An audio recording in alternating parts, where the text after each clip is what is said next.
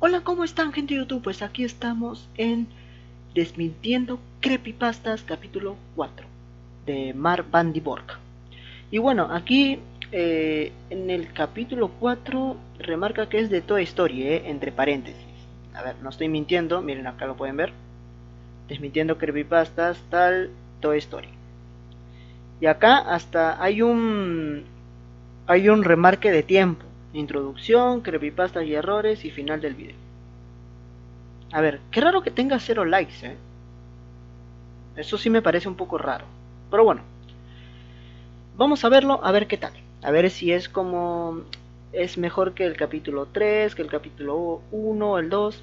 Así que bueno, vamos a verlo. Porque lo que trata, obviamente, este youtuber y amigo y también eh, este canal es desmentir los creepypastas que hay. ¿Ok? Si, si hay algo que no tiene sentido, pues obviamente se va a remarcar. A ver, ¿qué dice acá? Disclaimer, eh, ya, copyright, eh, ya.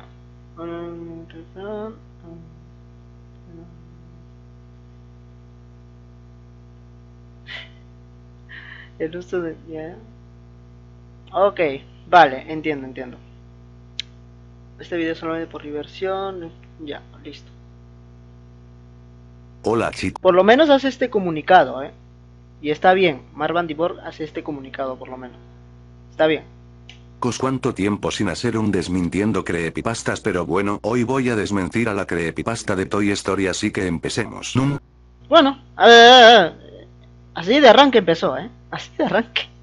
Pero bueno, vamos a, a ver a ver si puedo encontrar algunos fallitos en el creepypasta, ¿no? Obviamente yo puedo encontrar algún tipo de fallo y vamos a ver si me doy cuenta de lo que Mar Van de repente va a remarcar acá.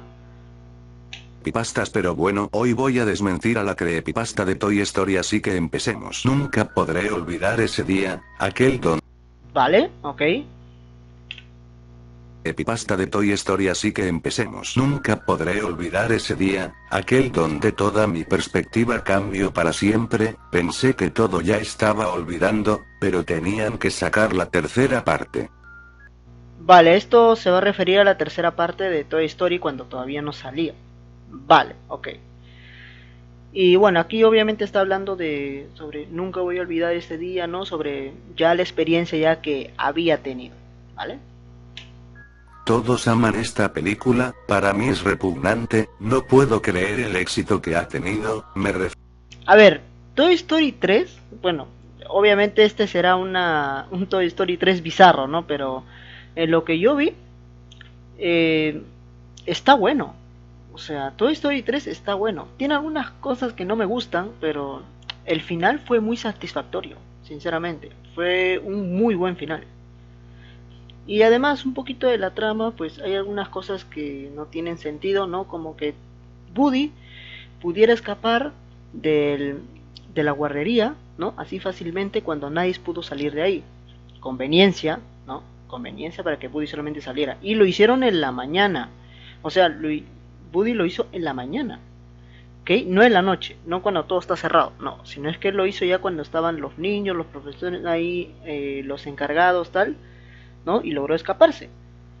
Algo que yo me preguntaba, ¿no? ¿Por qué entonces los otros juguetes no idearon un plan en la mañana cuando estaban jugando con cuando los niños vienen a jugar? ¿Por qué no se escaparon de ahí? En vez de estar escapándose en la noche. Raro, ¿no? Pero bueno. Refiero a la famosa trilogía de Toy Story. Muy pocos sabemos los verdaderos orígenes de esta macabra creación. Fue en el año 1991. Aunque sí pueden hacer una película de Toy Story, pero que sea algo un poco más macabro, ¿no? Que, que los, los, los muñecos, ¿no? Los juguetes, que obviamente están vivos, pues quieran matarte en vez de, en vez de, en vez de ayudarte así a jugar, tal, no, sino que a matarte directamente, ¿no? Sería muy, muy crudo y bizarro, sinceramente. Pero sí sería una buena idea para que se pudiera hacer una película de terror con juguetes asesinos. Me imagino que habrá. pero que sea un poco parecido a lo de Toy Story, pero más bizarro y macabro, pues sería algo interesante de ver. Cuando esto empezó, Pixar quería cambiar ligeramente el público al que estaba enfocado sus producciones, y Disney, originado por el éxito del Rey León, o que empezamos con... ¿Qué? Pero...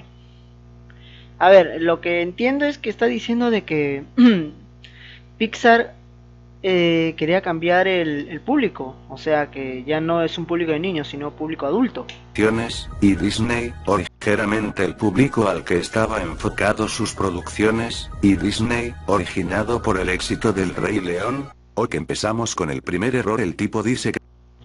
El primer éxito del Rey León, o sea, transcurre en 1991 sin embargo menciona que Disney estaba originado por el éxito del Rey León y el Rey León se estrenó en 1994. Quizo cambio. Yo de fechas no, no sabría decir de las películas, ¿vale? Casi nada. Pero, o sea, estaba diciendo de que como Disney estaba eh, con el éxito, como vio el éxito del Rey León, ¿no? Y se supone que la película es del 19... salió el Rey León en 1994, como lo está remarcando Mark Vandibock. A ver. Por el éxito del Rey León, y el Rey León se estrenó en 1994. Quiso cambiar para ver cómo funcionaría en un mercado más adulto. Vale, ese es el primer error, o sea, la fecha en la que dice. El primer error es la fecha. Vale, ok. Yo de este error yo ni me había percatado.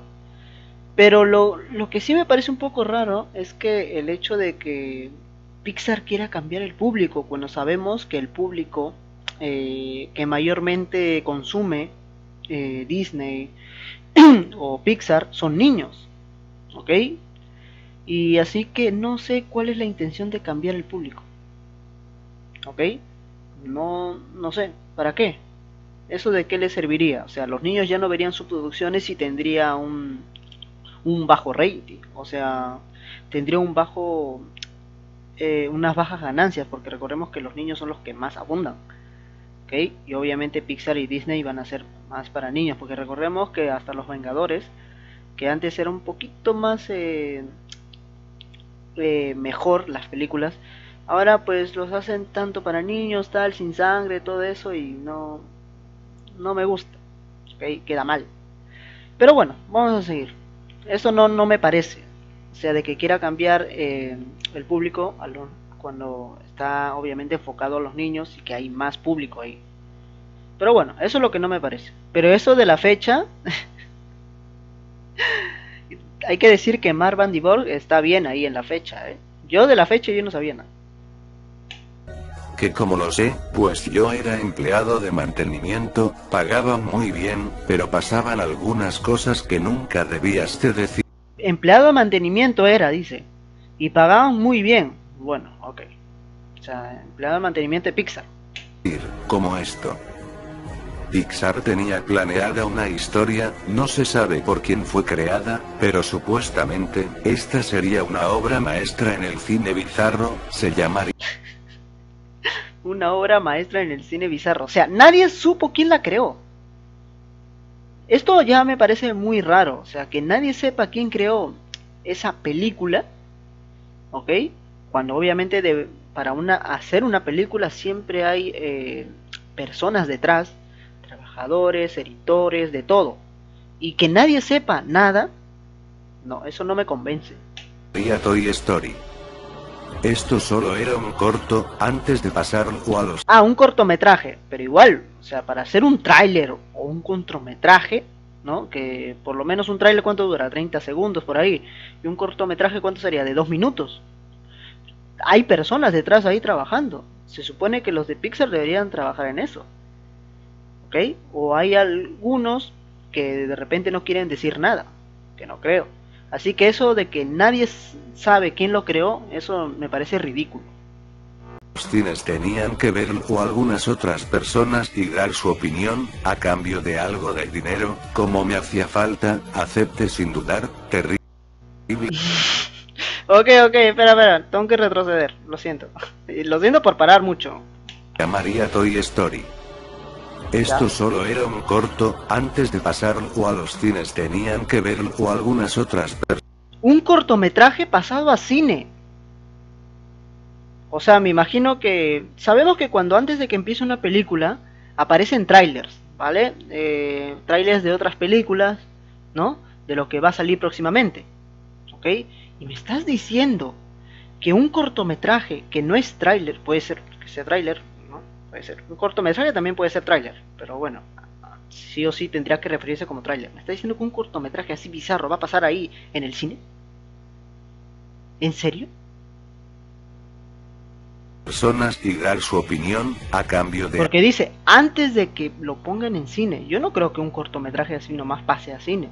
Supone que un cortometraje es que obviamente los trabajadores tienen que verlo, tal, a ver cómo va el cortometraje, ¿no? Si está bueno, lo pueden ya hacer una película de ello y también de la película sacan un tráiler, ¿vale? algo de dinero, como me hacía falta, acepte sin dudar, terrible error. La vimos un total de seis. Me encanta como la imagen que pone este que hizo el creepypasta le pone acá a Buddy, ¿no? Y le pone acá todo el ojo todo tapado.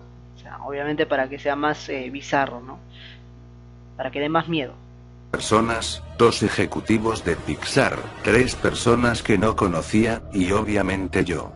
Ya, eran seis, ¿no? Dos ejecutivos, tres trabajadores que no conocía y él, o sea, son seis, vale. El corto inicia con una canción de cuna muy macabra, la habitación. Imagínense escuchar en el cine, ¿no? O sea, que realmente se haya esto estrenado en un cine, ¿no? Vamos a meternos en el papel, ¿no? Vamos a meternos en el creepypasta, ¿no? y se escucha una canción de cuna macabra, o sea, a los niños que van a ver, o sea, mayormente en los cines también hay niños, o sea, los va a dejar traumados de por vida, traumados de por vida. La habitación de Andy estaba oscura y en letras pequeñas se alcanzaba a distinguir las letras Toy Story. Es que en serio, si esto se llega mm, a estrenar en cine, o sea, los, los padres de familia van a reclamar, van a decir, ¿qué, qué mierda estoy viendo acá? O sea, ¿qué, mierda tenía esta idea de, de hacer este tipo de tráiler o cortometraje de esto? Es que no me queda en la cabeza de, de realmente hacer algo tan bizarro y para que también los niños lo vean. Para la tecnología que tenían era una animación muy pobre, pero al ser solo una prueba no le preste atención. Como lo dije en el Desmintiendo Creepypastas de The Advart este cliché de la mala animación no solo lo veríamos en The Advarts. La habitación... ¿Eh? ¿Qué dijo? ¿Qué dijo? El Desmintiendo Creepypasta de The Advart... Ah, ya. Preste atención. Como lo dije en el Desmintiendo Creepypastas de The Advart este cliché de la mala animación no solo lo veríamos en The Advarts. Vale, ok. La habitación se iluminaba, estaba Andy llorando, pero de una forma más que real, un llanto profundo y que contagiaba tristeza, la música. Otra vez, por favor. La habitación se iluminaba, estaba Andy llorando, pero de una forma más que real, un llanto profundo y que contagiaba tristeza, la música callaba y solo se oía el llanto, esto pasó durante unos dos minutos. Y es... Y, por qué? O sea, ¿qué cojones? ¿Qué quiere demostrar el, el, director con ese cortometraje? O el que lo haya hecho. ¿Qué quiere demostrar ahí eh, llorando? ¿No? Mientras que no haya música, no hay nada. Y para que sea más aterradora la escena. O sea, ¿para qué? ¿Qué es lo que me quiere mostrar? ¿Que, que, que me voy a asustar? Así como Fainas a Freddy's, ¿no? Cuando sale un screamer. No tiene sentido. Termina el llanto y ahora... Además, también para hacer una escena de terror no necesariamente tienes que poner screamers o personajes así macabros, ¿no? Eso, a, por ejemplo, a niños, obviamente se lo puedes colar y a, y a bebés, ¿no? ¿No? Que pueden ahí quedar un poco traumados ahí ver en la pantalla, pero mayormente para los jóvenes tal, eh, esto no va a dar miedo en lo absoluto, más se van a reír Suena una discusión, la toma cambia a los padres de Andy, discutiendo al filo de las escaleras, la madre se ve obviamente embarazada, los diálogos... ¿What? Suena una discusión, la toma cambia a los padres de Andy, discutiendo al filo de las escaleras. A ver, nunca hemos visto al padre de Andy. Que yo sepa, nunca. A la que hemos visto es a la mamá o a la hermana, pero al papá nunca, ¿eh? La madre se ve obviamente embarazada, los diálogos no se... ¿Embarazada? A ver. A ver, se supone que en Toy Story la madre tiene dos hijos, a Andy y a su hermana, nada más.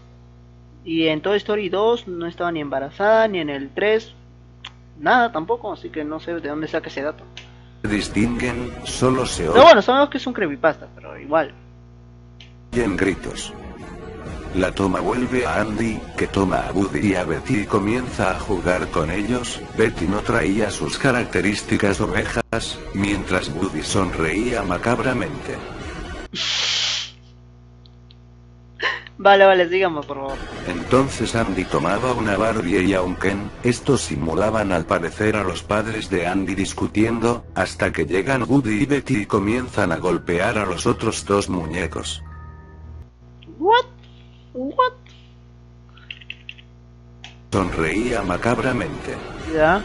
Entonces Andy tomaba una Barbie y a un Ken, estos simulaban al parecer a los padres de Andy discutiendo, hasta que llegan Woody O sea que ahí eh, está reflejando tanto a Betty y al Ken, a los dos muñecos, ¿no? Como si fueran los padres de Andy discutiendo, cuando nunca hemos visto al padre, pero bueno. Betty comienzan a golpear a los otros dos muñecos. En eso, suena un grito desgarrador, la toma cambia a la discusión de los padres de Andy, se ve a su padre lanzando bruscamente a su madre de las es- escaleras. Vale. El padre lanza a la madre en las escaleras cuando sabemos que la madre en el creepypasta está embarazada. Raro, ¿no? Esta se golpeó en repetidas ocasiones y termina tirada en el Esto pasa también mayormente en novelas, ¿vale?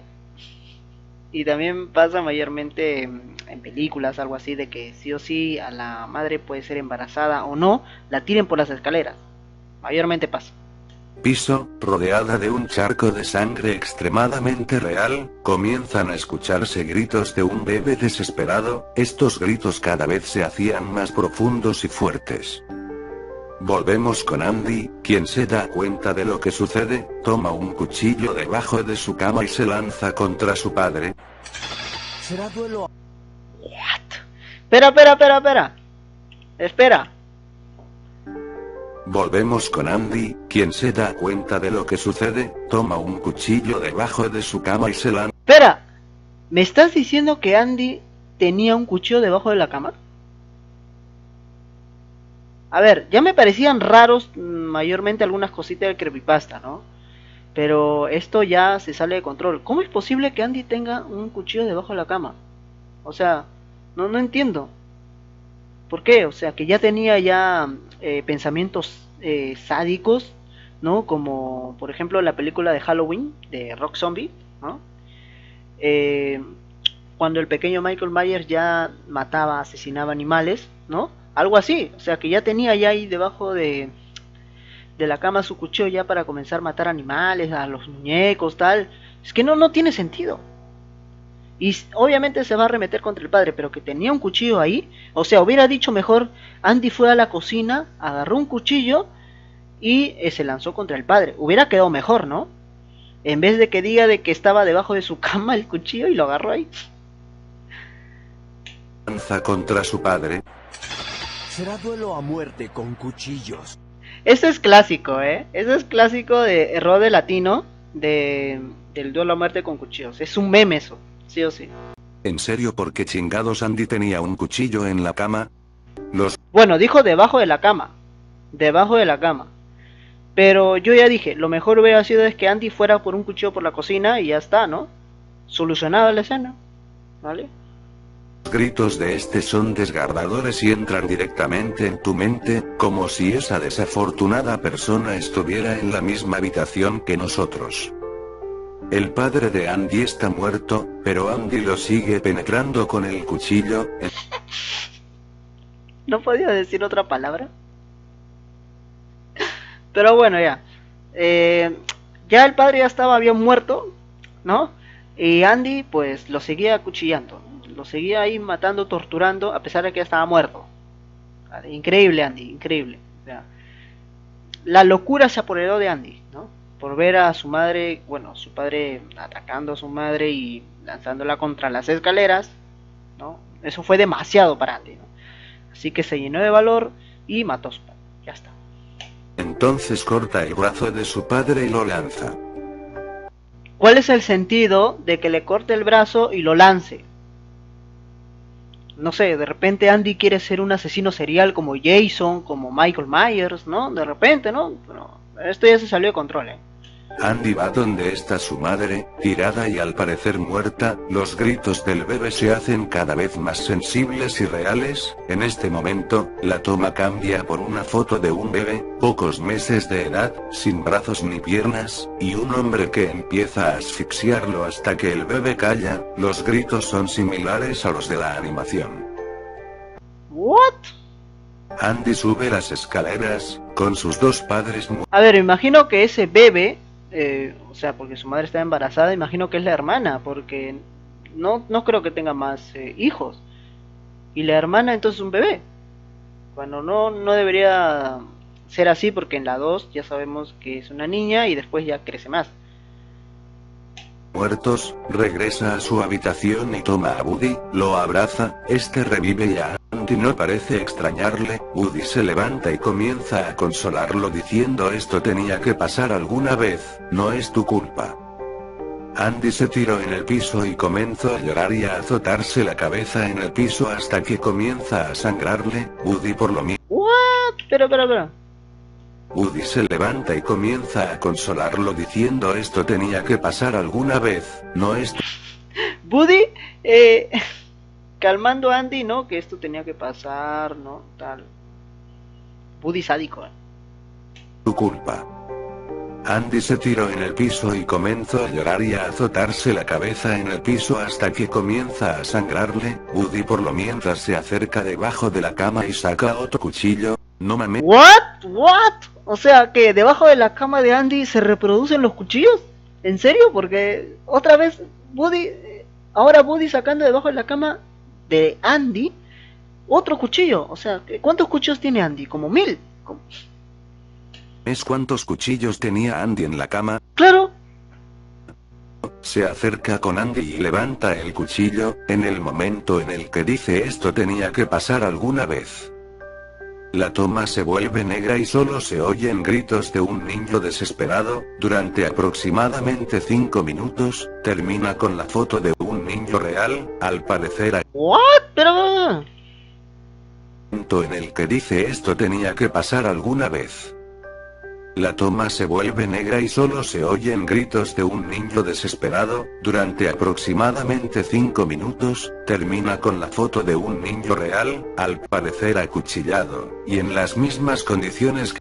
Ya, o sea que se acuchilló a un niño real, ¿no? El bebé, sin brazos ni piernas. Aquí empezamos con otro cliché muy utilizado el cual es de imágenes de niños acuchillados. Ah, sí, eso mayormente ya está saturado en los creepypastas, ¿eh? En ese momento termina, el silencio fue inevitable, los ejecutivos de Pixar se fueron y azotaron la puerta furiosos, de las otras tres personas, dos se fueron corriendo y uno se quedó ahí, inmóvil y rompió en llanto. Bueno, pero son adultos, o sea, esto no le debería parecer tan... O sea, no se deberían comportar así. Digo nomás, eh, digo, pero bueno, ya, de repente hay algunos adultos que son muy sensibles, ¿no? A no ver esto, Yo me fui, en el momento de salir de la habitación, un hombre me pidió disculpas y me dijo que no dijera nada de esto, que investigarían el caso. Aquí otro error es que... ¿Que investigarían el caso? Un tipo le dice al que está contando la historia que no le diga a nadie nada sobre esto pero el güey nos lo está contándolo ahora. Ajá. Buena, ¿eh? buena, o sea, que no diga nada y él obviamente lo cuenta en YouTube, ¿no? Aunque puede pasar dos cosas. Una, que después de esto no le crean, ¿no? que lo tomen así como un creepypasta, así que es algo mentira. O dos, que ya este hombre ya no trabaje en Pixar y lo hayan matado, lo hayan asesinado. ¿Vale? Por, por difundir esta información que debería ser privada. Pero bueno.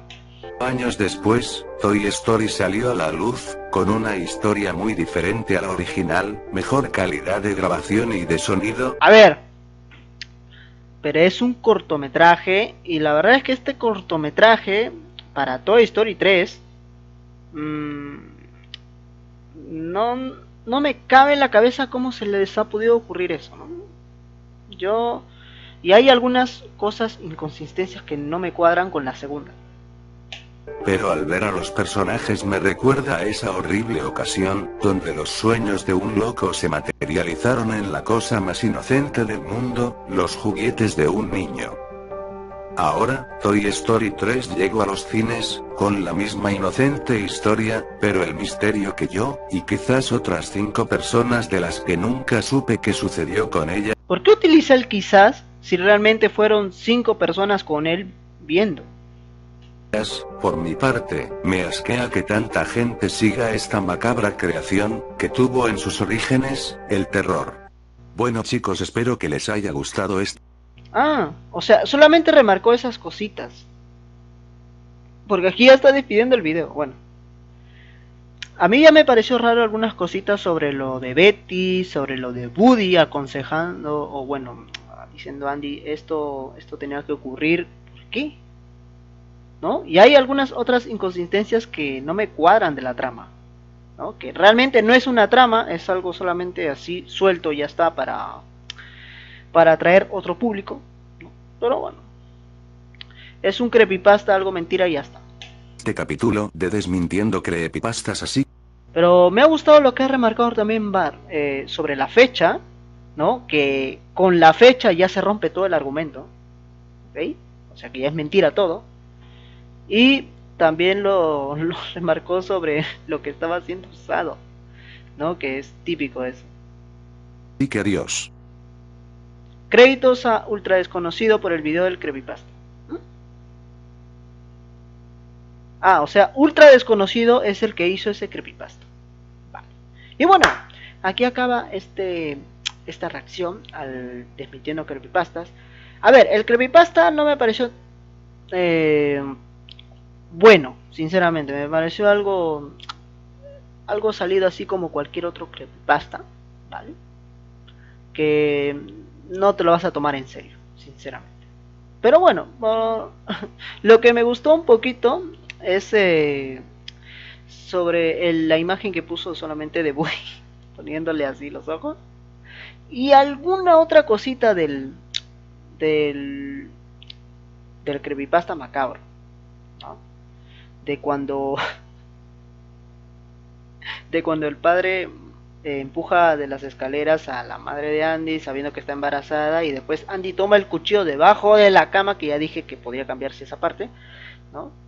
y acuchilla al padre y después le corta el brazo y lo es que es increíble ¿verdad? creo que esa es la única parte un poquito salvable ¿no? del que basta por todo lo demás me pareció algo muy random pero bueno, eh, si les ha gustado esta reacción, pues me lo pueden decir en los comentarios. Y también agradezco a Mar Bandibor por seguir haciendo Desmintiendo Creepypastas. Y bueno, si quieren que reaccione a la parte 5 o al capítulo 5, esta reacción tiene que llegar a igual, 15 likes o más. Si llega a 15 likes o más, yo reacciono al capítulo 5. Así que bueno, yo soy Luis 20 y nos vemos hasta la siguiente.